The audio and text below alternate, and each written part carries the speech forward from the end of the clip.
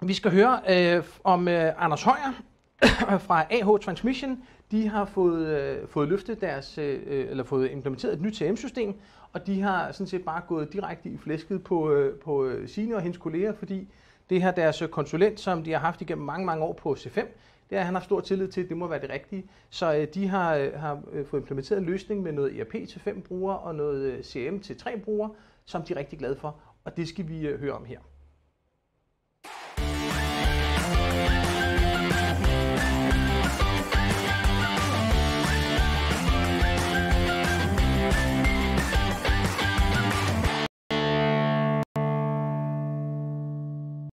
Anders Højer fra AH Transmission. I er en, øh, en nystartet virksomhed. I kører både øh, Microsoft Business Central i skyen, altså på sagsløsningen, og I kører CM for sales, også i sagsløsningen. I kører begge produkter, og det har I gjort, øh, siden I kom live med det. Og, øh, og hvordan er det? Prøv lige at fortælle. Prøv først i virkeligheden at fortælle, hvem I er. Det skal vi lige høre. Hvad laver øh, AH Transmission? Ja, øh, vi her hos øh, AHT. Vi er jo en lille handelsvirksomhed, som øh, gør os i komponenter i teknisk transmission og mekaniske komponenter. Og vi startede op her i oktober sidste år, og i den anledning så tænkte vi, at vi skulle have det, have det bedste ERP og CRM-system. Og så gik vi faktisk i gang med en proces på at finde ud af, okay, hvem skulle egentlig være vores, øh, hvem skulle være vores partner, og hvad skulle produktet være, og der havde vi så egentlig kontakt til en ekstern konsulent, der hjælper os med at finde nogle, øh, nogle dygtige aktører, og så efter en, øh, en proces, så faldt valget på, øh, på, på parkering, og der havde vi jo så heldige at besøge Søren og Mette, som, som gjorde et godt stykke arbejde og introducerede os til, hvordan de kunne hjælpe, jer, hvad de kunne hjælpe os med at løse vores problemer. Og det er altså lige så gamle som mig, når du siger Søren og Mette, så tænker vi på vores øh, skoletid. Det var sådan et eller andet bogsystem og sådan noget. Men, øh, ja, og I valgte, I valgte både øh, CM-system og, øh, og, øh, og ERP-system i Microsoft, øh, i Microsoft Stack. Hvorfor, hvorfor faldt valget på, at det skulle være sådan en, en, en Microsoft-løsning, eller at det skulle være sådan samme portefølje af produkter? Det var rent faktisk fordi, at Microsoft har den løsning med det hele ligger op i skyen, og så er håbet på sigt, at det bliver en god integration imellem både ERP-systemet og CRM-systemet, så det bliver lettere for os, når vi skal ud og skalere vores forretning på, på markedet uden for, uden for Danmark og Skandinavien, så har vi noget, der, der virker over det hele, og vi egentlig selv skal bruge kræfter på at have server stående, og, og man kan tilgå al information let bare ved, ved at være adgang til cloud. Så det er simpelthen øh, med henblik på at kunne skalere og være fremtidssikret i virkeligheden, at, øh, at de valgte det. Var I ude at undersøge konkurrerende produkter, altså andet end Microsoft-produkter i den forbindelse? Nej, det var vi ikke. Øh, vi stod okay. lidt fast på ham, øh, Allan, der, som han kender til vores forhistorie inden for sådan et tidligt IT-konsulent, vi har benyttet os af. Og vi fortæller dem, hvad vi gerne vil have, hvad vi havde af krav og forventninger til vores system, hvor det er godt, det her, det er det, I skal have. I er godt på gang med nogle af de andre øh, typiske startup-systemer, men der er lige bare til at skulle uh, lægge investering på et senere tidspunkt, så vil det bare blive mere bøvlet. Når I nu har mulighed for det, så kan de også fra starten starte, uh, starte med, med det rigtige produkt, og så være med fra starten og udbygge systemet i takt med, at Microsoft det også opbygger og udbygger deres services. Så det er lige årsagen okay. til, at vi valgte fra starten at gå med det. Er simpelthen, uh det er simpelthen en ekstern rådgiver, som øh, du har tillid til mere end, øh, altså, så, så, det er ikke fordi, du har valgt hverken på pris eller på alt muligt andet, men det, er sådan, det skal være fremtidssikret, det skal være rigtigt, og så, øh, så kendte han jeg godt nok til, at du siger, det er det, vi kører med. Ja, man kan sige, at vi har haft en historie, hvor vi brugte 30 år, i hvert fald 30 år, på at bygge et andet firma op, øh, hvor vi havde C5, og der havde vi faktisk i lavningen bare sad hele tiden og, hvad skal vi sige, kundespecificeret C5, der passer til vores, vores forbrug og vores behov. Og der var han med ind over, så han vidste præcis, hvad vi egentlig ledte efter i system, og hvad for nogle øh, forventninger vi havde til håndtering af rammeordre og håndtering til, til prislister. Og alt det her, så godt, det, mm. det bedste, vi skal kigge på, det er, det bliver, det bliver BC, og så, øh, og så øh, CRM der. Og så er I, uh, I fem brugere på uh, ERP-løsningen, så vidt jeg forstod. Vi har selvfølgelig snakket lidt inden, og så et par brugere på, på CM. Er det, er det ikke rigtigt, det er sådan, det er? Jo, det er det. det er det. Det er det. Vi er fem i alt i virksomheden, så det er fem i, i BC'en, og så tre over i CRM. Øh, vi er tre, der sidder og håndterer koderne. Og er det så tanken, at det skal være mere end det, eller er det fordi, der også er sådan et vækstidé ind i, uh, i, i det? Er det en del af det valg, eller eller det er måske ikke, fordi det, så, det har ikke været vigtigt for dig? Jo, men det er egentlig for... Øh, vi regner med, at vi kommer til at vækste hurtigt her over næste år. Øh, og så egentlig for op. Det ene, det ene, vi har, det er en... Øh, det er vores lagerchef. Der er jo ikke det store behov for, at han skal have adgang til, hvad der sker inde i, i CM'en, Og den anden, det er vores indkøbschef. Så de, så de er mere håndteret i, hvordan de skal bruge bare BC'en, og så alt det her med kunderne, det ligger over i, over i CRM'en. Og vi har da også haft, vi har da også haft uh, tanken op, hvad nu hvis uh, vi er tre sælgere, vi er opsat på telefonen, og når kunden ringer ind, og han kan til at tale med indkøber, indkøbschefen, så ville det måske være ret, at han lige kunne se, okay, hvad, hvad var status på, på kunden og de givende tilbud, og hvad var historikken. Så vi går lidt og tænker på, om vi skal have en til bruger i, i CRM, men indtil nu, så fungerer det fint. Okay. Og så har I valgt et, øh, sådan et komprimeret forløb til at komme i gang. Så I har valgt simpelthen sådan en, en, en metode, hvor det galt om at komme, at komme hurtigst muligt i gang, og i virkeligheden få hævet gulvtæppet væk. Nu, var, nu havde I jo ikke et stort system i forvejen, så I må have kørt noget, enten uh, Excel eller et eller andet, men, men hvordan, har den, hvordan har den oplevelse været? Og, jeg må spørge først, hvorfor har I valgt sådan et forløb i stedet for sådan et traditionelt projekt? Fordi vi gerne vil hurtigt i gang. Vi vil godt have det sent op at køre, og få starten få de rigtige vaner og procedurer. I det med, at vi også var, vi var nystartet, så kunne vi jo godt lægge vores procedurer efter systemet, og prøve at, at standardisere vores procedurer efter det. Så det er lidt tanken derved, og så er det hellere, og vi brugte U1 på at få kørt ind, der hvis der var ikke så meget gang i, gang i kunderne, og det var, det var lige, vi brugte egentlig U1 alle fire på at have den her unboxing af, af BC'en, og det, øh, det var seks dage øh, mm. i streg, øh, så det var et ret komplet forløb, men øh, et godt forløb, øh, rigtig godt forløb, synes jeg. Men øh, og der var, der var fart på, men jeg synes egentlig, at i takt med den her øh, mappe, som vi havde til at få opgaven igennem, og egentlig også efterfølgende, den har hjulpet os en del.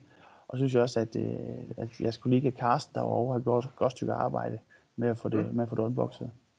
Okay, så det var, det var simpelthen bare hurtigst muligt. Det var hårdt, eller hvad? Ja, det var da sådan lige... Det var der, ja, det var det. Var, det var seks øh, halv lange dage, synes jeg. Men det var, det var interessant og spændende, og man lærte nyt, så det var, så det var egentlig alle tider. Og I kunne godt gå i luften i direkte forlængelse af det simpelthen? Ja. Og, og var det det samme på, på CM? Det var lavet IRP først, og så CM bagefter, eller hvordan ja, øh, gjorde det? det? det gjorde vi. Vi lavede IRP mm. først, og så tror jeg, vi ventede, øh, var det to-tre uger, og så kom vi så over på, øh, på CRM, hvor vi også fik det hurtigt unboxet og gik i gang med det. Mm. Øh, hvad, var det, det godt. hvad var det værste eller det hårdeste i sådan en proces her? Altså, hvis du, du skulle, øh, skulle sidde bagefter og sige, åh, det kunne godt have været federe, hvad, hvad var det så? Jamen så, øh, vi fravalgte lidt og, fra, øh, og fravælge noget med noget bogføring. Så har vi haft det ind over, og så også noget med noget pluk, og så lidt med de forskellige rollecentre. Vi har haft lidt med, at der er egentlig også fem her, har kendskab til BC'en fra før, så kunne hjælpe hinanden med, hvordan skal lære man? Vi har et lærer ekstern på vores kontor. Hvordan sikrer vi os, at han får hans pluglister og lægge, og lægge varer på lærerlister? Mm. Øh, men det var så ikke, heller ikke en del af unboxing, men det er sådan, de eneste ting, jeg, jeg kunne tænke mig, man, at øh, jeg spurgte ind til, da jeg havde, da jeg havde Karsten øh, eller en af de andre herovre. Fordi der, der er der brugt noget tid på, på videoer, men så det er simpelthen function, functions and features, der, der er valgt frem. Har der ikke været, noget, har der ikke været sådan nogle frustrationer, hvor det har været, øh, hvor I har været ved at rive i håret, eller sagt, øh, jo. ah, det her, det var, altså... Øh, jo, det har jeg da. Ja. Det har jeg da. Men det I har, bare, haft, I har bare haft frisk mod hele vejen igennem, eller hvad? Ja, det synes jeg, fordi det, det er et aktivt valg, at vi vil have de her systemer op at køre. Øh, der har der været situationer, øh, hvor vi kunne få bogføringsklæden til at virke, og, og de her små ting, hvor man ringer og spørger om hjælp, og så har man glemt at klikke et eller andet af, et eller andet lille sted. Men i stor hele, jeg synes faktisk, det er kørt godt, og jeg har stor tiltro, tiltro til, at vi på sigt bliver rigtig stærke i de her programmer, for det bliver et bidrag til at vækste vores forretning.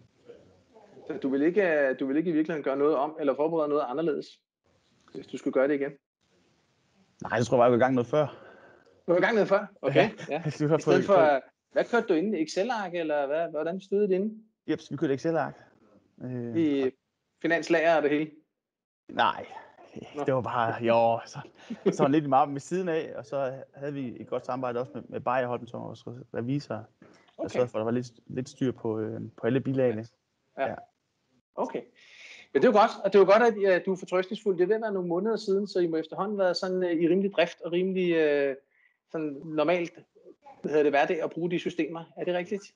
Ja, det er helt korrekt. Vi, uh, vores gamle Excel-system, det blev holdt lidt ved lige der i januar, men uh, det er fuldstændig udfaset nu. Så... Det er ikke udfaset. Har du nogle planer om, hvad så det næste, der skal ske? Hvad, er der nogle, øh, nogle planer om ny funktionalitet, du skal tage i brug, eller skal I bare få forretning til at vækste og så blive på, øh, på det, I så har fået nu? Jamen, vi, vi ligger jo lige nu og træffer beslutning om, hvor meget øh, lærermontage vi skal have, øh, og hvor meget vi skal kunne styre det i vores BC. Så der, der er vi besluttet, hvad det er rigtigt at gøre. Men min primære fokus, det er jo det er ude på vores kundeside at få til at vækst. Og jeg synes jeg egentlig, at, at CRM-systemet, det jeg har set af det, det, øh, det er med til at kunne give kunderne en, en rigtig hurtig god service ved, at det er let for alle at kigge, okay, hvad er status på kunde A, hvornår har den givende sælger sidst talt med dem, hvad de talt om, og hvad er status på de her tilbud eller opportunities, og det kan jeg også rigtig godt lide. Mm. Så det er virkelig at få, få styr på brugen af CM og processerne i det, og få optimeret det, som er, som er næste store skridt, eller at få det til at flyve ud af. Ja, det eller noget lærerstyring. Okay. Øh, Nå, eller lærerstyring, så det ja. ja. Og, øh, optimere på, automatisere hele den proces på lageret med mm. varemodtagelse og forsendelse og, øh, og plukkelister og følgesæder og alt det her. Mm. Super. Ja. Tak for det, Anders. Det var sjovt at høre. Om, øh, det var spændende, om, øh, om vi skal snakke sammen om nogle år, så se om I er blevet sådan en, en, en kæmpe stor virksomhed, eller hvordan det går. Ja, så, øh, det er vi. det er godt. Tak fordi du blev med. Selvfølgelig. Tak til Anders Højer, og øh, det skal vi snakke om lige om to sekunder. Så vil jeg gerne have dit tjek på det, Signe, fordi du synes, at han er rigtig fantastisk, øh, ham Anders her, så det skal vi høre om. Først så vil vi lige svare Finn, for jeg har selvfølgelig ude øh, og finde svaret, og det fandt jeg hos øh, min kollega Lene, som fortæller, man kan godt køre Power Apps på en on-prem installation. Øh, det behøver ikke være clouden, men man skal installere noget gateway og noget værk, så det er ikke noget, man bare lige gør out of the box. Men det kan godt lade sig gøre. Øh, og det starter med, at man sender en mail øh, til os, og så hjælper vi med det. Så det kan man godt. Signe, mm. hvorfor siger du, at, at Anders er sådan en yndlingskunde? Jamen, han er yndlingskunde, han er et unikum, og det er jo fordi, at, at, at i dag der snakker mange om standard. Vi vil gerne gå standardvejen, men der er ikke særlig mange der er standard, efter vi ligesom har snakket med dem. Vi finder altid ud af, at når vi viser dem systemet, der er altid lige nogle små tweaks, der kan lave, og vi skal lige rykke rundt på noget, og så har vi faktisk også lige nogle processer, som vi lige skal have understøttet her. Og Anders, han er, øh, fordi de er en nyopstartet virksomhed, som ligesom øh, har haft deres ting i nogle Excel-arks og sådan noget, så har de ikke haft så mange øh, processer, de har arbejdet i selv. Mm. Så de har jo egentlig kunnet lægge sig ned over standard og gået med standard, når de har mm. sagt, at de gerne vil standard. Og det, øh, det er jo fantastisk at arbejde med.